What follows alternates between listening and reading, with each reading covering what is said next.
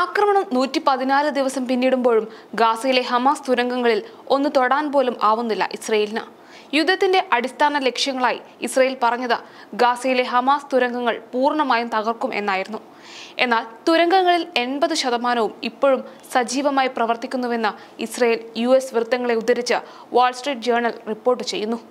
മുതിർന്ന ഹമാസ് നേതാക്കളെ പിടികൂടുന്നതിനും ബന്ദികളെ മോചിപ്പിക്കുന്നതിനും ഇസ്രയേലിന് തടസ്സം സൃഷ്ടിക്കുന്നത് ഈ തുരങ്കങ്ങളാണ്.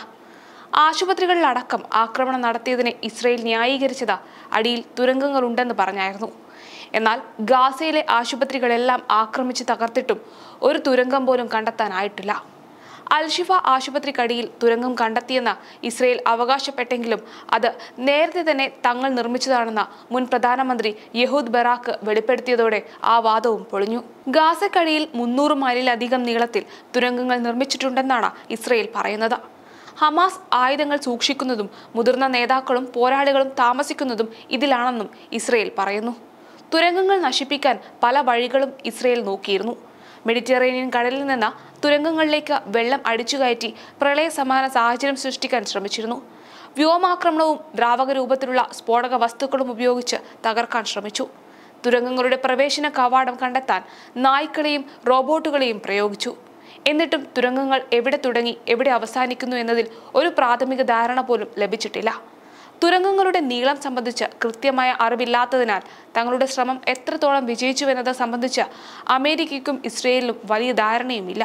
ഇരുപത് മുതൽ നാൽപ്പത് ശതമാനം വരെ തുരങ്കങ്ങൾ തകർക്കപ്പെടുകയോ കേടുപാടുണ്ടാവുകയോ ചെയ്തുവെന്നാണ് യു എസ് ഉദ്യോഗസ്ഥർ പറയുന്നത്. ഘട്ടം ഘട്ടമായി തുരങ്കങ്ങൾ തകർത്തുകൊണ്ടിരിക്കുകയാണെന്ന് ഇസ്രയേൽ പ്രതിരോധ മന്ത്രാലയം പ്രസ്താവനയിൽ പറഞ്ഞു. എന്നാൽ വൈറ്റ് ഹൗസും ദേശീയ ഇന്റലിജൻസ് ഡയറക്ടറും ഇത് സംബന്ധിച്ച പ്രസ്താവനകൾ തള്ളുകയായിരുന്നു.